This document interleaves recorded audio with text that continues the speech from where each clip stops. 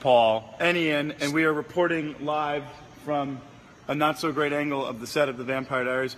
Remember when we asked you guys to design some cool T-shirts? Well, I sure I'm pretty sure you can see the top of my hair because it's hard to miss on Ian's chest. Oh wait, your head on my chest. Oh, amazing! You Hey, guys came through You came through. We picked a design. Here it is.